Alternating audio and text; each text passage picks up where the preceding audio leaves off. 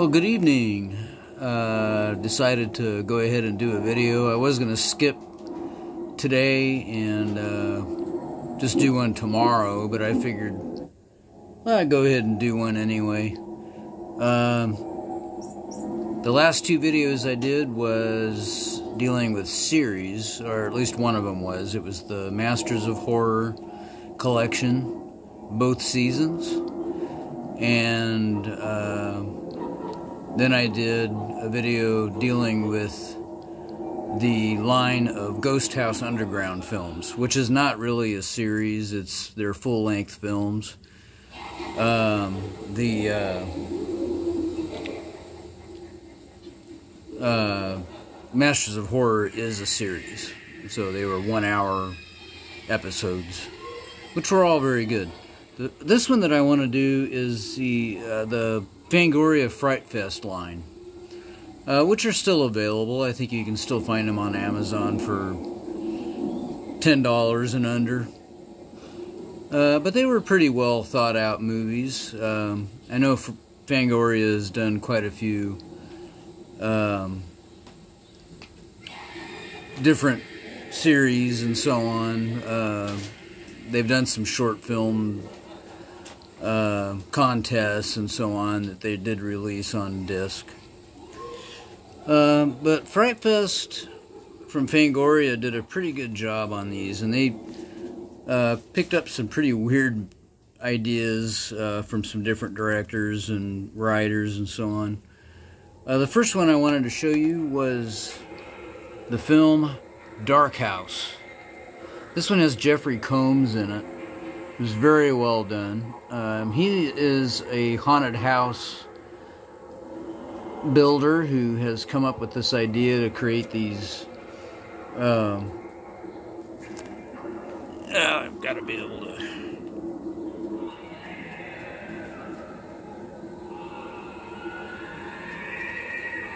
Uses these uh, holographic he's come up with this new holographic idea where the you go into the haunted house and these uh, all of the characters in there are holograms. So they look real and you know they look like they're actually there and so on. So he chooses this old house and to uh, build his haunted house attraction.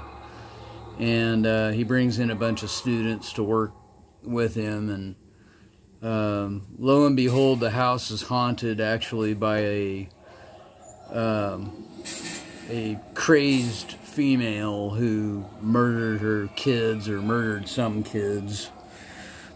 Again, this is one of those I haven't seen in so long. I don't really remember everything, but. Uh,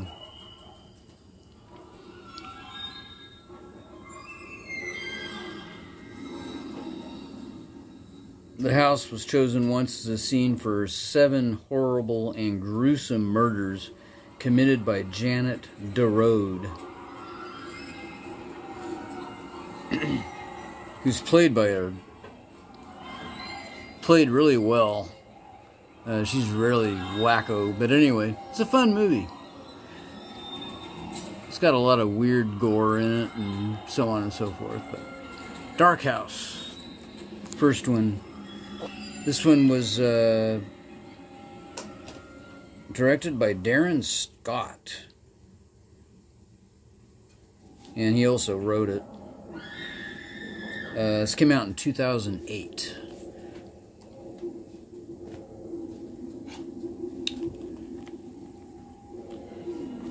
The next one is called Fragile. Uh, this is another haunting type film that takes place in an old hospital, as if we don't have enough of those.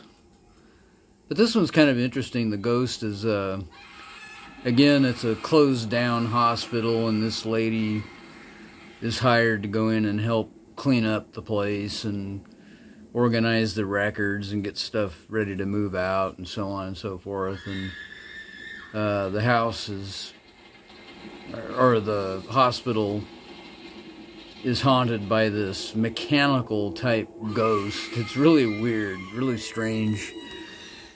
Uh, you can kind of see her right here. It's just kind of like she's got like mechanical arms and mechanical legs or something along those lines.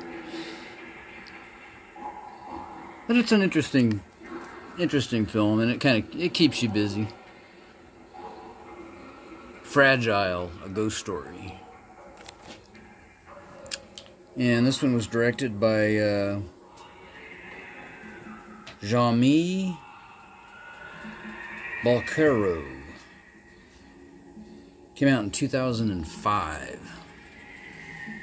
Most of these were early 2000s.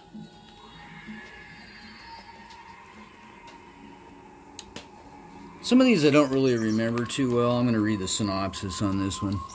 This one is called The Haunting.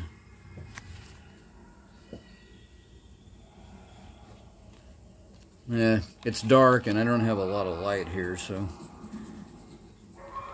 A haunting, a place between heaven and hell. Francesca is a young pediatrician traumatized by the loss of her child through crib death. When the family moves to a new home in the country, supposedly to help her recover from the experience, she begins seeing completely inexplicable things. The house in which they now live seems to hide terrible secrets. Both the cellar and the attic are locked and barred to the family, and it is from both of these places that Francesca receives nocturnal visits and slowly drives her mad, driving her mad. Honest to God, I don't even remember this film. I've had these for so long, and it took me forever to find these. I had to painstakingly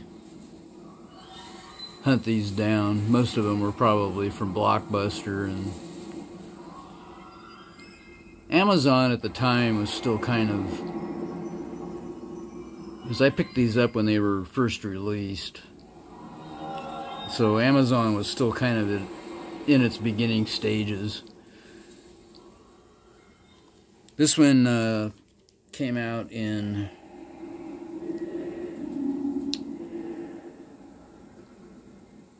I want to say 2009, so so a lot of these films came out different, you know, like a few years apart. And then Fangoria Fright Fest picked them up. this next one is called Hunger. This guy is doing a study on a on uh, basically starvation. He starves this woman and wants to see how long it takes for her to succumb. He throws rotten meat or something in there. It the movie's really hard to watch, uh, but it's interesting.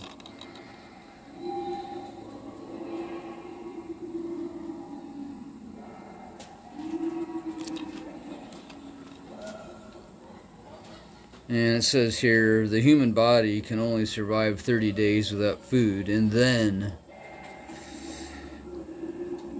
five strangers awaken to find themselves trapped in an underground dungeon. They soon realize that they are the subjects of a man's sadistic experiment to test the depths of the human being's will to survive. As the days go by with no means of escape, their hunger increases and their humanity fades away. Yeah, it's pretty rough. It's a weird movie, but definitely worth a check out. And this came out in 2009 as well.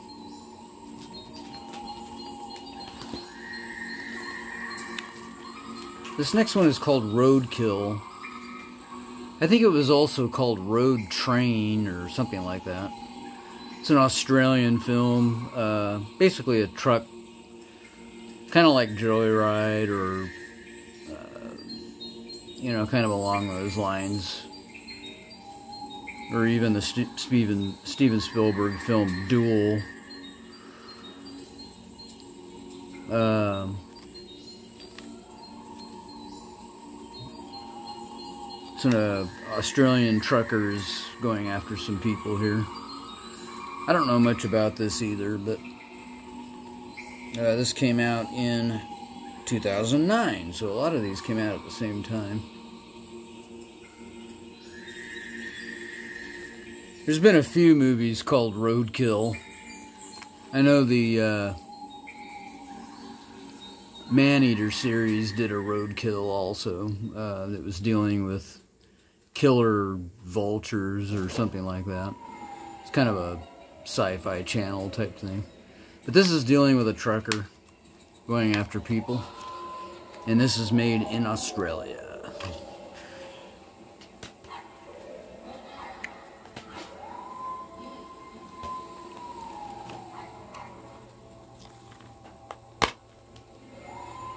This was a blockbuster pickup. Tomb. This was my least favorite of the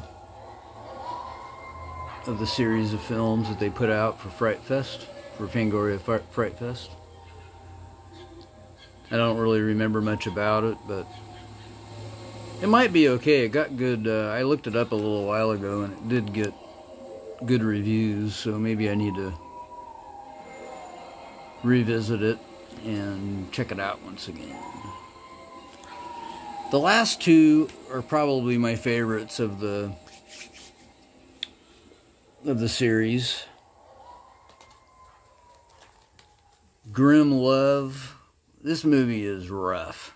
And it's based on an actual event that happened in uh, the early 2000s in Germany. Uh, it's a cannibal film with a twist. Um, you don't really hear about it too much, surprisingly. Um, but this movie is about this woman who uh, she's a she's involved in a uh, she's a criminal psychologist or studying to be a criminal psychologist and she's drawn to this bizarre murder case they changed the names in this. The guy's real name I forget it right now right offhand but he's still in prison. He basically what he did is he gets on the computer and gets on the internet in some chat room and he uh, is looking for somebody who's willing to be eaten. And uh, really bizarre. So he uh, runs around town and uh, finds a few people out on the street and then when they find out what they're really there, when he takes them home, when he when they find out what they're really there for, which is to be devoured alive, basically, willingly. And so this is a you know this is a, a movie that deals with homosexuality. So it um, so it's kind of this guy gets sexual pleasure off of finding somebody who's willing to be cannibalized. and uh, just bizarre. Anyway, when these when the people that he finds on the street determine that you know what what they find out what they're there for, they of course run for the hills. He finally finds a guy on the online who's willing to do it, and uh, he's basically this kind of humble suicidal guy who finds it kind of fascinating that you know so he uh, he gets eaten. And uh, the whole thing was filmed. So this student finds the film. She does some research in a library or something and finds the film and of course the film is locked away with the police in germany but uh, it does exist where it actually shows him devouring this guy alive. I mean, he literally eats his private parts and feeds them to him and cooks him, cooks the guy while he's still alive. Oh, it's just a, the movie's really it's it's really creepy. But and to think that it was based on something that had actually happened, you know, happened, and the guy's still in prison. He's got life in prison in Germany. This happened in the, I want to say, it was the first, like 2003 or something like that. Obviously, the internet was going quite strong, so it was well into the early 2000s. But a lot of people haven't heard about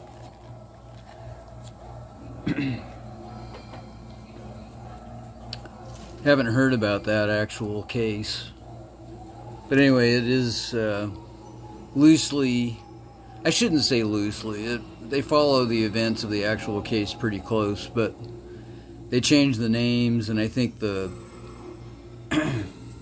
the circumstances with this gal finding the tape and so on uh, didn't actually happen, but makes a good story. So technically, you're watching the video of sh what she's watching. so it's pretty good. The next one uh, is Pig Hunt. And uh, this is pretty good. Of course, it's dealing with a giant boar. And uh, there's a lot going on in this movie. There's a group of hunters, they're kind of like amateur hunters that are out hunting down this boar. And the boar is called, uh, supposed to be this 3,000 pound man eating wild boar. Um, but anyway, so anyway, there's this uh, group of amateur hunters that are out looking for this 3,000 pound man eating boar, I guess. And uh, they then there's a, a group of hillbillies that they run into. And then there's a group or a cult of all women who worship the boar that they run into. So, I mean, there's all these different scenarios going on at the same time. But it's really well done. And it, it's got a lot of gore and a lot of interesting acting, and the boar isn't too bad. I think it's a little bit better than Razorback. Uh, they didn't even show that the boar too much in that film. Of course, that was in the 80s, I believe, or 90s. I can't remember exactly, but, but this is good. There's just a lot of weird shit going on. There's just a lot of scenarios and a lot of people involved, a lot of groups involved here. And that is the conclusion of the Fright Fest, um, Fangoria Fright Fest collection. I believe that's all of them, and I think they're all still available. You can still get them. Um,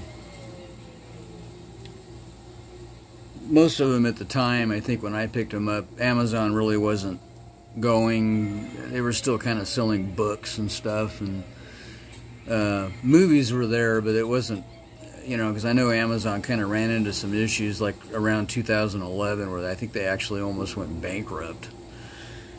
Or did go bankrupt. I'm not sure which it was. I know Jeff Bezos was struggling in that area. But anyway, before it, it came back strong.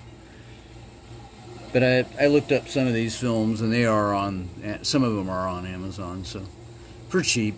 And you can get them for like 10 bucks. But they're well, well done movies, and there's some special features with, you know, there's commentary and, uh, some trailers. I think they go through some of the Fright Fest um, trailers so that you can, you know, you can choose what movies you want to get. Anyway, that's all I had for today. Uh, we'll do some more. I wanted to do the eight films to die for, seasons one through three. And then um, I do have some of the uh, After Dark. That was done by After Dark and then the After Dark originals, uh, which was basically the kind of sort of the fourth season, I think. Uh, which they did come in a box set for a while, and then Uh, they came in box sets, seasons one, two, and three. Four, I think they released them all separately, so you just had to hunt them down. But unfortunately, a lot of them I just hunted down, so. But I will do those. That'll take a long time because there's quite a few films involved in that, and a lot of them I don't even remember. I haven't seen them in so long, but there's a few that were that stand out that were pretty good.